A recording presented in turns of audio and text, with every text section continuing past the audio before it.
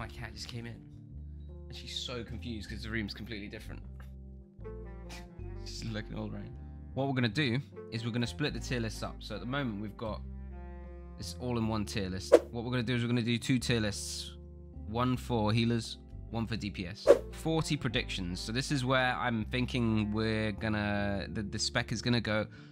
Uh, barring any, you know what? In fact, I'll, I'll do a proper intro and we'll just chuck this on YouTube. I think. So basically, this is gonna be the level 40 tier list and it's going to be a prediction tier list because we don't know what runes are coming out yet. What we do know is what talents people are going to be getting and what spells people are going to be getting, you know, whether they get a new rank at level 38, 40, anything like that uh, whether they get specific new spells at certain levels between 25 and 40 that are actually going to be you know relevant powerful things like Innervate and we're going to use that information to try and adjust the tier list which we currently have for level 25, and see whether or not specs are looking like they're going to get stronger or weaker compared to other specs based on what they're going to be getting.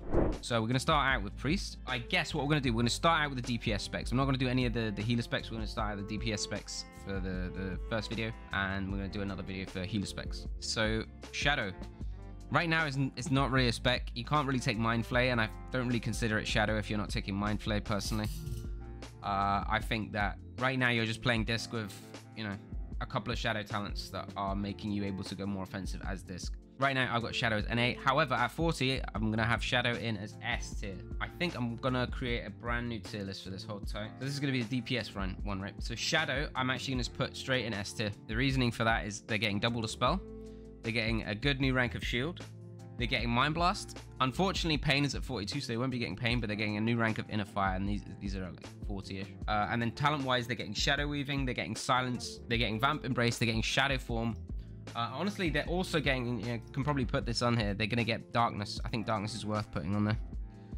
So they're getting all of these great new talents that increase their shadow damage by a lot, but they're also going to be getting more tanky due to Shadow Form. And this is not, you know, without considering any new runes. We don't know what new runes are coming in. So Shadow gonna hit a really nice power spike at 40. I'm putting it in S tier. I think they have a really good base toolkit in general. And if any of the runes that they get are strong in, in any way, shape, or form, I think they have a really good base rune kit as well. Then yeah, they're gonna be they're gonna be very spicy. Next up, we've got Feral, and right now we have Feral in B tier, and Feral is gonna be, I think, getting stronger. They're gonna be getting. the moment Feral's kind of held back by the fact that they're they they don't have enough talents, and there's not any specific talents that that are massively strong for them, but it's just this general utility that they're building up that they aren't able to get. So things like improved shred are, are very nice and going to help them out a lot. But it's just the general like being able to swap to bear and have rage, do to Furor, things like that. Uh, so they can you know run both Furor and interrupt, having more damage. Uh, yeah, the, the manual crowd pummeler obviously going to be a factor as well for them, I think. Uh, and then getting things like Innervate, Travel Form, Shred at a good rank, Dire Bear Form, which is going to make them way more tanky if they swap into Bear, Bite, uh, which they don't have at the moment. They're going to get a 38 rank. Obviously, there's the Pounce Stun, uh, and then Rip at 36 as well. So I think Feral actually is going to get a lot more actual Feral stuff as opposed to the, the cheese that they have at the moment with the Sunfire spec.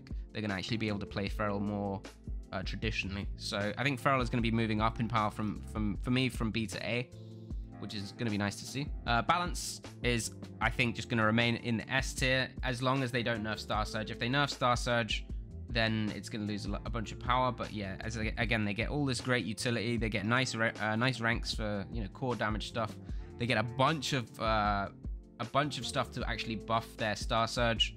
They can get Star Surge stun.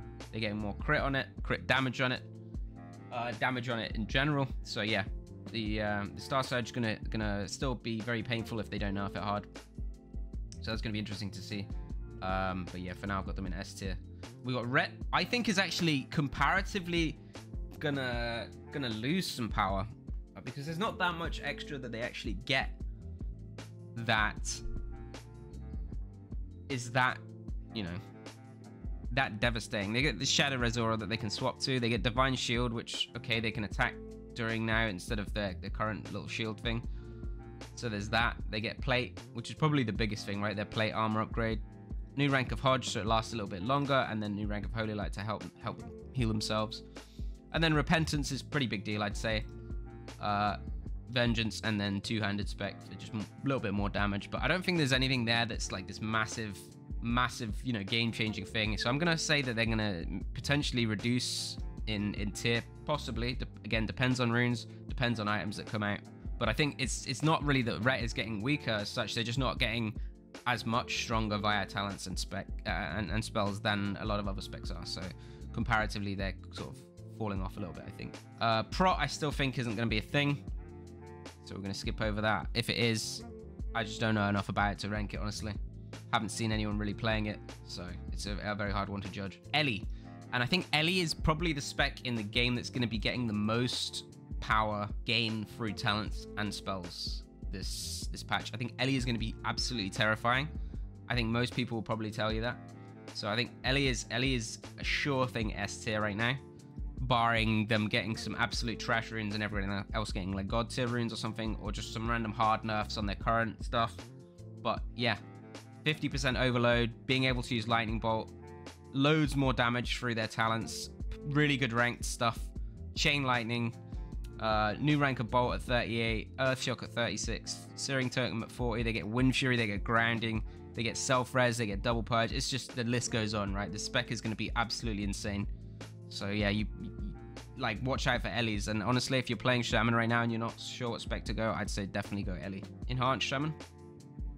And it's a tricky one to rank really because Enhanced Shaman is kind of got two forms, right? It's got like damage Enhanced Shaman, and then it's kind of got like tank Enhanced Shaman.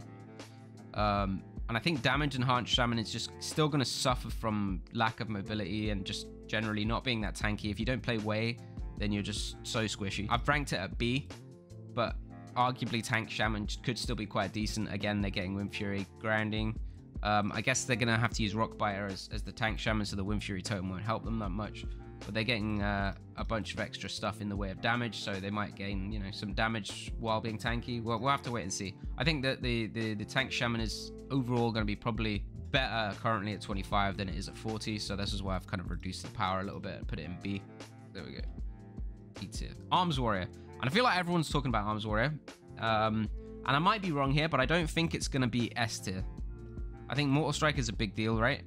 They're getting a bunch new stuff, right? They're getting Zerker Rage, they're getting Pummel, Zerker Stance, uh, Intercept. So they're going to be very, very mobile with both Intercept and Charge with the Warbringer rune, allowing them to sort of ping around in combat a lot. So you better believe that they're going to have good uptime, but I just don't know if they're going to have enough rage to maintain any actual threatening damage with all the new runes that people have. So that'll be interesting to see. I might be wrong, and and you know at higher gear levels when they're getting you know freedoms and and heal and stuff, they might just be terrifying. Um, and and you know this absolute damage machine. But I think they're still gonna kind of fill the same sort of niche where they're just like pushing in, tanking a lot of damage, being annoying, putting up mortal strikes, sort of a little bit almost more utility tank frontline sort of uh, role rather than the scary warrior that we know from Wrath. I just don't think the pressure is going to be anywhere near as high as, as what we see in Wrath from warriors. But again, I might be wrong. We'll have to wait and see. i am cautiously putting them up to A, but you know, it's a prediction. Watch the space sort of thing. Fury is basically just why wouldn't you just play arms? I don't think that the damage is going to be realistically that much higher than arms has just consider you have to be doing double the damage of arms to make it worth it with the 50% mortal strike, right? So I put Fury in C. I'm I'm not expecting to see that many of them, but yeah, maybe you'll get a few people playing it. But yeah, it just doesn't have the the same sort of utility that the arms does, and the damage, if any, doesn't really make up for it. Uh, so I'm taking them out of NA tier at least, um, and we'll put them in in C tier. Uh, Pro, I'm keeping in NA again. I just don't don't know enough about the spec. Haven't really seen many of them. Haven't seen any of them do anything really of note. So it's really hard for me to compare what I don't know now to you know with the new the new tools they're getting. It's it's too hard for me to judge. So I'm gonna put that in F tier, NA. You might see some. It might end up being good. There might be some some cheese spec that somebody comes up with, but again, I, I it's a predictive list, and I just don't know enough to to predict it. Uh, Asa. So Asa is going to have really, really high sustained damage. I think they're going to have good poison talents, and then that with the uh, the poison rune is going to be super annoying. I think they're going to be getting Cold Blood, Seal Fate, Vigor.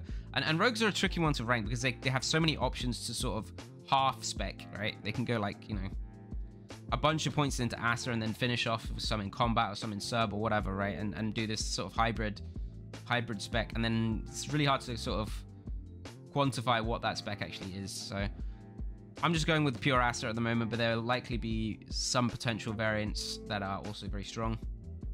But yeah, the, the Asa is going to be the sustained damage spec for sure. Where I, think combat will have sustained damage as well, but I think Asa is generally scarier due to the the nature of the way that it deals damage is scary into both plate and and uh, clothies and stuff like that as well. But these specs will most likely lack a little bit in utility and mobility. Combat, I've actually put the same, but just slightly worse, I think, than Asa. Combat is good at the moment because the early early talents are quite good. So re- pretty much regardless what you play, you can put a bunch of points in early combat, and, it's good right now at 25. But if you fully commit to it, you're basically just, just this like PVE damage bot. It's very similar to Fury, I think, in that regard. So I put combat down to B, and then sub I think is going to be very very scary with prep.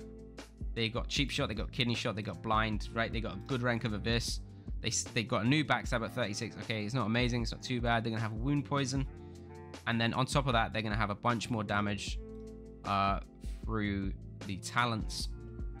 So definitely watch out for sub rogues. They are they're going to be scary. I think they're going to be bursting people down like crazy. Next up, we have Hunter. Hunter's getting quite a lot of stuff. Uh, I've kind of got spells pretty much the same for all of the specs because they're kind of relevant for all three specs. Uh, the the specs don't really differ that hard in terms of the you know the way they play uh, for the most part. They deal damage in slightly different ways, but the, the spells and utilities are still relevant.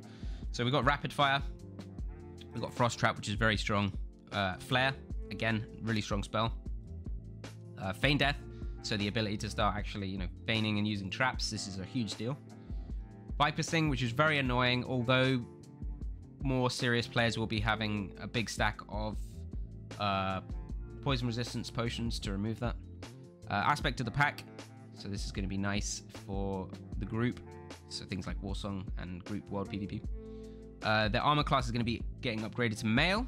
They get a new rank of Hawk, a new Mark, and a new rank of Freezing Trap so it lasts a longer duration. Uh, and then Marksman is getting True Shot or a talent if you go all the way down. It gets range specialization, so more damage, barrage, scatter. Scatter is a very big deal, I think. So Marksman potentially it depends. It depends on if they decide to change the way that hunters are dealing damage. So right now, they are very, very heavy on pet damage. And Blizzard has done some changes to reduce that and to put a little bit more of the weight on the range damage. I think they need to, to do even more. I think pets are still doing too much of uh, a percentage of hunters' damage. I think it's too easy for bad players to just autopilot do damage with them. Um, and it would be it would be nice to see more of that damage shifted to their actual shots rather than just letting the pet do it just uh, auto attacks basically um, so yeah i think that if that happens then marksman will will potentially come up to s tier because the damage is going to be crazy high from, Mark, marksman in that regard and then i think bm could come down to a tier right if the pet is weaker then bm is weaker right makes sense and then i think survival is going to likely stay in A tier. They're much more of a utility spec, right? They've got Wyvern, they've got Lightning Reflex, Counterattack, Sure-Footed, and Trap Mastery. So you're gonna, you know, be causing a lot of problems with things like Frost Trap uh, as survival. Uh, with the tra- entrapment, things like that as well, are going to be way more relevant this patch. And yeah, survival is going to be really, really annoying. However, it's not going to be the kind of spec that's like in your face, just one-shotting you. It's more of a, a team player so it's it's hard to actually rank that, but yeah, just for overall PvP and overall um, ranking, I'm giving it an A, uh, keeping it an A. I'm not sure whether it's A right now or not. I haven't seen that many people actually going for survival talents. Most people are playing BM. There's a few people playing MM, but yeah, survival's quite rare to see at the moment, so it might not even be an, an A at the moment. It's just the, the, the talents are mostly just utility at the top of the tree. Marksman, again, remaining the same, but could go up. BM remaining the same but could go down. Again, this is very much dependent on runes, but we don't know what the rune changes are, so we go with, the, with what we know and, and, try and make a prediction based on that. Uh, next up, we've got Warlocks. before we had demo in, in NA because the talents in demo weren't really worth taking early on. Even if you played something like Meta, which is potentially what you could, could, could consider demo, uh, the, the early on talents just weren't worth taking. You would most likely take something in Affliction instead. However, now you can go all the way down to Soul Link, so that's going to be more of a traditional demo spec where you're just very tanky. There's most of the talents in demo actually aren't that strong. It's the Soul Link that actually makes the spec, no doubt. You you have the potential to get your pet back with Fel Dom because you can get the master demo now, reducing the cast time. Other than that, it's mostly just you know a little bit of tankiness for the pets, resistances, you know the resummons, a little bit of stamina. There's nothing that really stands out that much, but the the Soul Link making you so tanky is going to be the one to watch out for. On top of that, they're getting tongues, they're getting Felhunter, they're getting Spellstone, new rank of Drain Life, so the Drain Life dot is going to be particularly annoying. Uh, they'll be getting Seduce, they'll be getting Demon Armor at 40, so a very nice rank of Demon Armor. They've got Howl of Terror, Devour from the pet, Spell Lock from the pet, and then a decent rank of Agony with Shadowbolt coming in at 36. So demo is going to be very tanky, especially if they play with something like Meta. The melee players are going to be having a very, very bad time trying to kill any sort of uh, Soul Link Warlocks that are also running meta. Um, so I'm taking it from the not uh, not applicable spec uh, tier to B tier. Um, and potentially it could be higher. It, again, it depends on the damage they actually put out. But this spec kind of reminds me of Nunu from League of Legends for a while, where he was kind of just like trash, but he also makes you trash. So basically, he's just running around doing nothing, being tanky as fuck. Uh, but he also means that you makes it so that you can't do anything either, right? You can't kill him. He's too tanky. He's just being in your face. He's throwing tongues out on your casters. He's spell locking. He's devouring stuff. Yeah, it's just like a bruiser build. Uh, just being super annoying. So it, it could even be A. Um, if you, if you, it, I feel like for me, it almost fills the role of like a warrior, right, in the front line of, of Warsong. You could bring like a warrior in a demo lock, put him in the front line, and just soak up so much damage and just be a pain. So yeah, definitely I think there's room for this in the meta. Uh, but yeah, the downfall of this spec is the lack of instant cast corruption, no doubt about it. 100%. Uh, which is where Affliction potentially will come in, and that will have the instant cast corruption, uh, and it will have a bunch more damage, but it will also have a bunch more drain. So I think Affliction Warlocks offensively are going to be a lot scarier than they are right now. Right now, they, they've got okay damage, but it's not. They don't make you sweat as hard as they will next patch, and they're also going to be healing up more than they are currently next patch. However, Mortal Strike's going to be in, so it remains to be seen how much that actually manages to reduce their healing, how it interacts with the runes, and these kind of things. So Affliction, I've still got staying in S. I think that they're getting enough stuff to stay in that tier, the same place they are currently. Um, Destro is actually going to move up a tier. Destro is going to move up to B tier. They get a bunch more instant damage. They get more more crit damage due to rune, range, uh, and just flat damage. And obviously they get all these these good things that we talked about before. Um, there's I feel like there's a couple of options for Destro this patch where they can either play with Succubus, and then they can play with um, with Chaos Bolt and the succubus is going to allow them to set up damage, get casts off, these kind of things. Or they can play with meta, and they can play with uh, the Felhunter. And the Felhunter is just going to run around being annoying, purging, CSing, whatnot.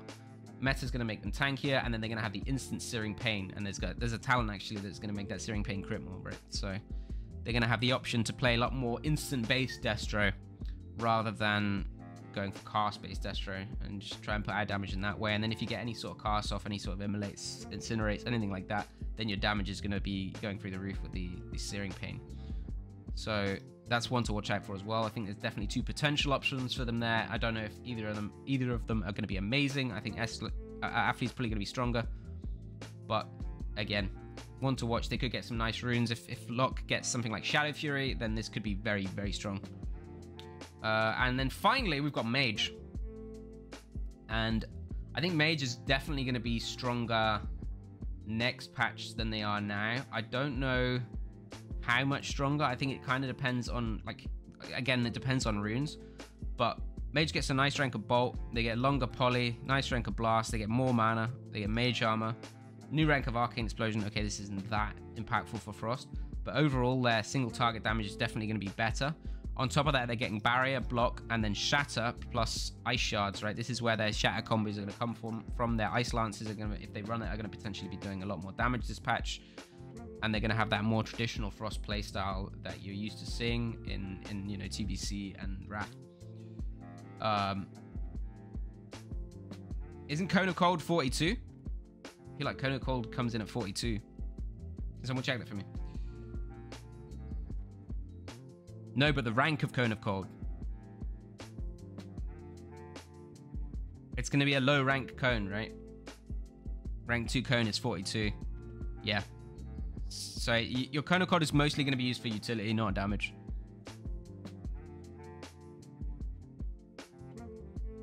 Again, depends on what runes come in. Are they? Are we going to see water elemental? Are we going to see deep freeze?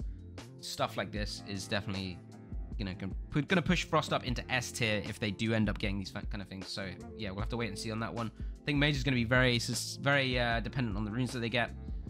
Fire, I think, I think Fire could stay A tier. Again, it depends, but they get a lot, a lot of damage. Uh, and right now, Fire is actually doing pretty good single target damage or, or burst damage. The issue is that they go Oom. But yeah, if you duel a fire mage, they can definitely burst you down. So with this increased damage on top of that, they're gonna be they're gonna be scary single target. I think uh, at level 40. So again, I've got all mage specs ranked at A tier. It's difficult to say. It's going to be dependent on runes big time. I think mage compared to even more so than most other classes. Um, and then yeah, arcane. Arcane I think is actually going to receive probably be one of the first classes to actually get some kind of nerf because of the Arcane Surge. And right now, Arcane Mage is already doing these cheesy Arcane Surge plays with Arcane Blast. And it's only going to get worse when Imp CS is going to be a thing. I think they're going to have Arcane Mind and they're going to have Arcane Power, right? And So basically what they're going to do, right, is they're going to sheep you. They're going to cast an Arcane Blast into Pom Arcane Blast with CS. Right, so you're not going to be able to react or do anything. And then they're going to mana pot back to full mana and Arcane Surge you. And they're just going to one-shot you. And I don't think there's I don't think there's going to be many classes other than like things like Shaman with Way and, and maybe Warriors with like the big HP, HP pool. Um, Warlocks with Soul Link, stuff like this. That are going to actually be able to tank this. I think even if the Surge doesn't crit, this is going to be doing crazy damage with arcane power, right? Absolutely crazy damage. So I think that what is going to end up happening is I think Arcane Surge is going to get some sort of a change on Earth. Uh, because this is a very, very obvious and easy to execute one shot. And people are to cry. So I'll be surprised if that doesn't be, be a thing, isn't, isn't, a, is a, isn't a regularly seen thing. Yeah, it's um, it's to be scary for sure. So Arguably, you could put this as S tier because of that.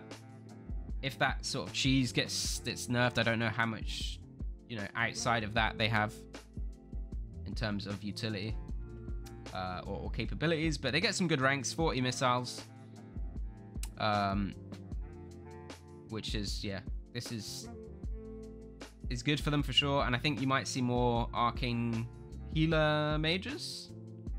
Uh, but I'll rank that in the next next tier list. So yeah, putting putting Mage in A tier all round. Um, rather than doing anything too crazy and jumping the gun and putting him into S tier. My original predictions for last uh, phase when I was doing 25 I actually had Mage quite high, and we all know how that turned out. So I'm being quite cautious with Mage. Um, and if something turns out to be busted, then you know unlucky. so yeah, that's that's the tier list I think at the moment. I'm I'm pretty pretty happy with this. As I said, it's it's a prediction, and no doubt most stuff will will change. It's it's sort of the best idea, or you know, rough estimate that we've got without knowing what runes are coming in, what gears coming in, all these kind of things, that, which will all change things, no doubt. But yeah, if you want a rough idea of what to, to give a go next patch, what's going to be high high ranked and just a strong spec, then at least this gives you some kind of an idea rather than just closing your eyes and picking a class, right?